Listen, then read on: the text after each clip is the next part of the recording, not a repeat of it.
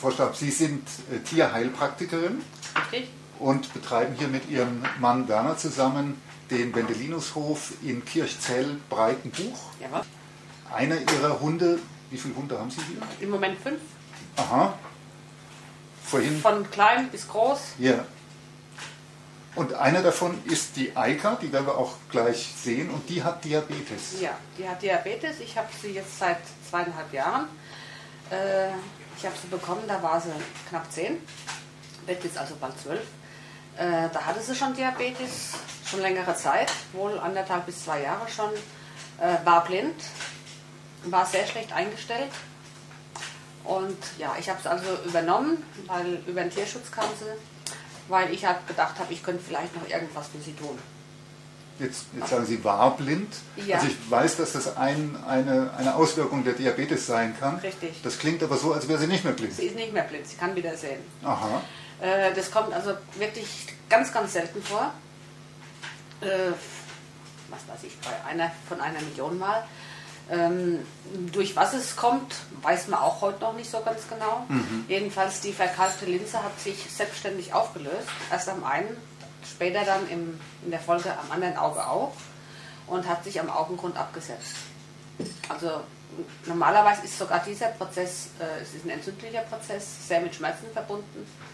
Aber da haben wir wohl riesig großes Glück gehabt. Sie hatte keine, nicht mal eine Bindehautentzündung. Also es war keine geröteten Augen und keinerlei Probleme dabei.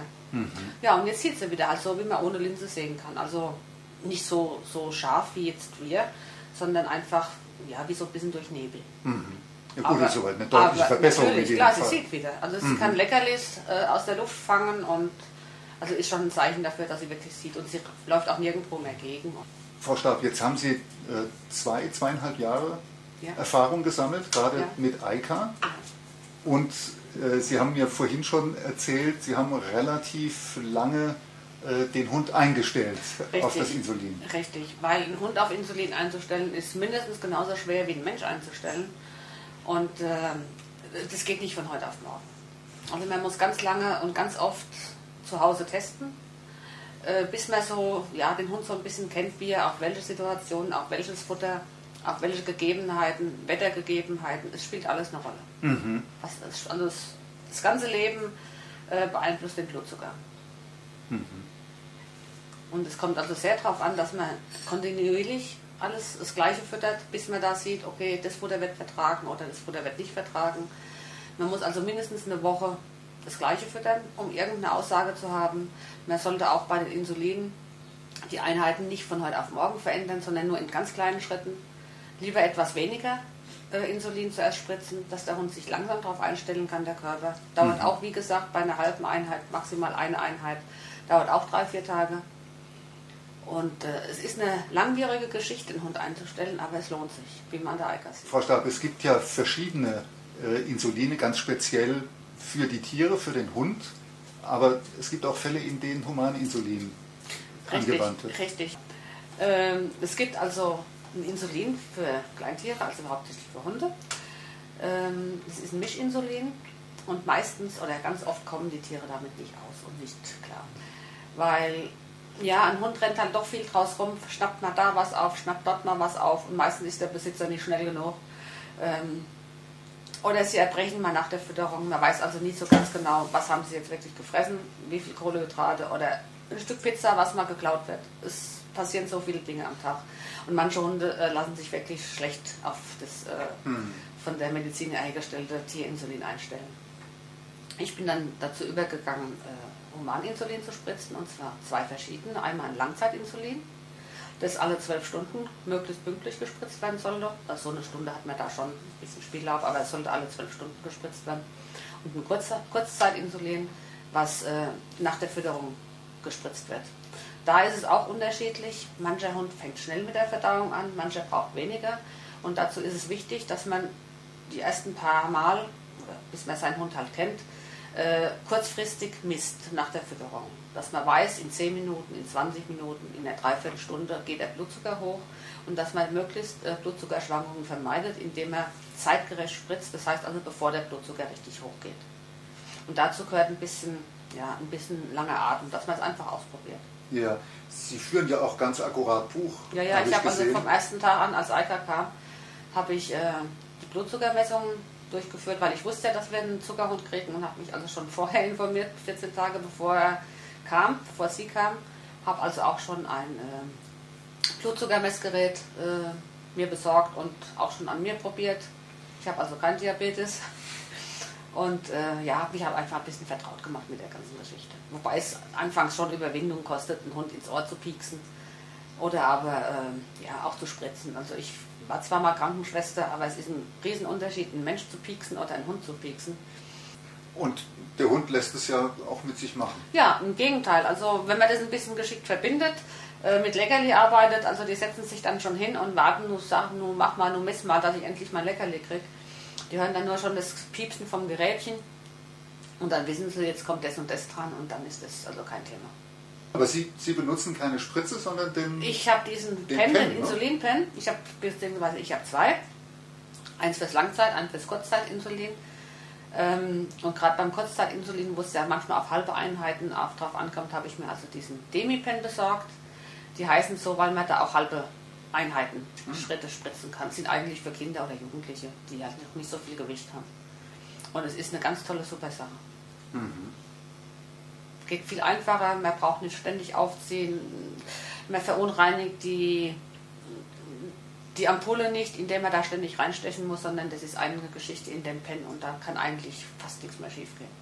Und es ist vielleicht für den, der die Spritze verabreicht, auch angenehmer? Ja, mit Sicherheit. Mhm. Aber es, wie gesagt, es ist so und so. Es ist eine Gewohnheitssache und man lernt beides. Nur es ist umständlicher mit den, Einmalspritz, äh, mit den Einmalspritzen und mit den Pens ist es halt einfach eine. Man gewöhnt sich dran, es gehört zum mhm. Tag dazu dann. Mhm. So, und jetzt haben wir die Eika auch endlich im Bild. Genau. Sie hat gleich noch einen Freund mitgebracht. ja, ja, das Messen oder das Spritzen, Leo, geh weg, Leo, geh weg. Das ist immer sehr interessant, weil danach gibt es ja ein Leckerli. Ich habe also mein Gerät, das stelle ich jetzt scharf, habe mein Leckerli bereit, guck am Ohr, weil die Ohrvene kann man immer super meistens anstechen. Steche auf den Ohrrand. Man sieht wahrscheinlich schon, dass da ein kleiner Tropfen kommt. Zu viel drücken sollte man nicht. Das verfälscht ein bisschen, wenn da zu viel Gewebewasser kommt, das Messergebnis.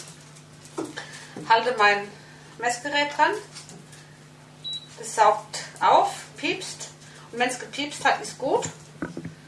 Jetzt muss ich ein bisschen warten, 15 Sekunden.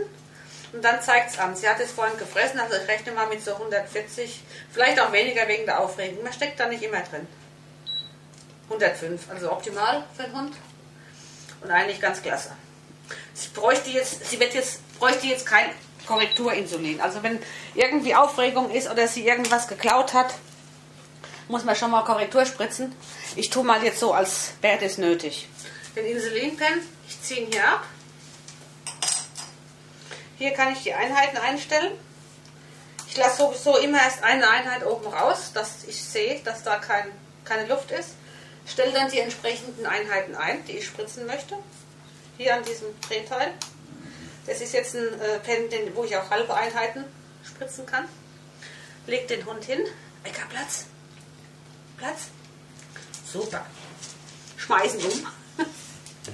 Aber wie gesagt, sie kennt das alles. Leg dich hin. Nimm so eine Hautfalte, zieh hoch, stech rein und drück hinten drauf. Halt eine Sekunde, ja, ein bisschen mehr als eine Sekunde. Lass los, zieh raus, verreibe und schon hat sie ein Leckerli. Und die finden das total normal und warten eigentlich schon, dass sie das Leckerli kriegen und tut auch nicht weh. Zum Blutabnehmen am Ohr gibt es auch noch einen Trick. Morgens vor allen Dingen oder im Winter, wenn die Hunde eiskalte Ohren haben, kriegt man dann natürlich keinen Tropfen Blut raus. Dazu habe ich mir einen Waschlappen genommen. Der ist mit Reis, mit rohem Reis gefüllt und der kommt für anderthalb Minuten in die Mikrowelle. Der heizt sich auf, wird schön warm. Ich nehme dann hier so das Ohr halte den Waschlappen dran und warte so eine halbe Minute oder bis ich halt denke, das Ohr ist warm. Weil wenn das Ohr warm ist, kriege ich natürlich sehr viel besser das Blut. Wenn das nicht geht oder die Mikrowelle gerade kaputt ist oder was auch immer, es schnell gehen muss und ich keine Zeit habe zu warten, kann ich auch aus der Lefze Blut nehmen. Es tut dem Hund auch nicht weh, ist auch kein Thema.